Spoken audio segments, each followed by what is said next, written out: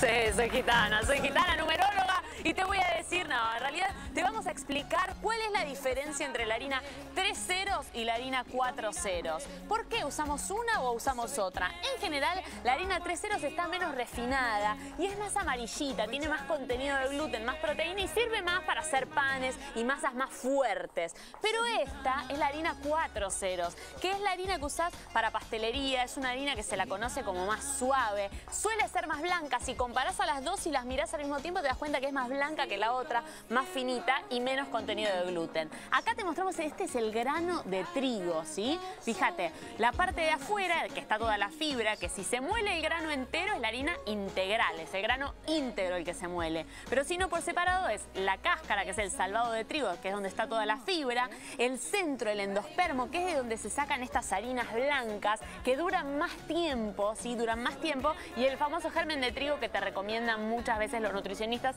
que tiene muchísimos nutrientes.